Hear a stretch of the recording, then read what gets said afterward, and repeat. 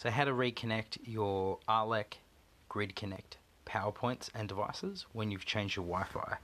So focusing on the power points, which is what I have, go and add a new power point. Uh, select your Wi-Fi, that's fine. Go into the top right hand corner where easy mode, ignore all this stuff, and change easy mode for AP mode. When that's done, we'll go and have a look at the camera. So I've already held down the button for five seconds. That's why it's flashing. So hold that down for five seconds and it will blink rapidly. You don't want that though.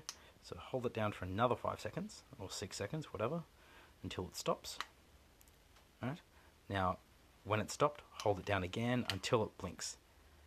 There we go. And it'll start slow blinking now. Okay, so five seconds to turn it on fast, five seconds again to turn it off, and then just a second or two until it slow blinks. So back to the app. Now this is in AP mode. Remember we've changed it from easy mode to AP mode. Tick the button. Hit go connect. It's going to pop up with a bunch of different network options. You need to stay close to the um, device that you're trying to, that your power point. I'll try that again. Your grid connect will appear here. There it is. Grid right there.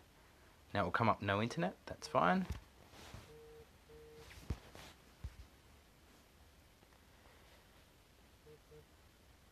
And it'll go to adding device.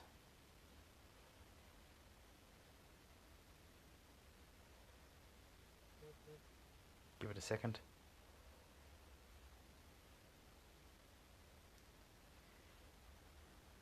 And that's it.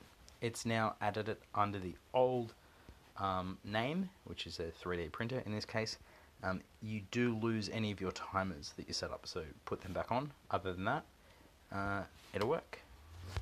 And that has just to prove it, has just clicked on, so now it works.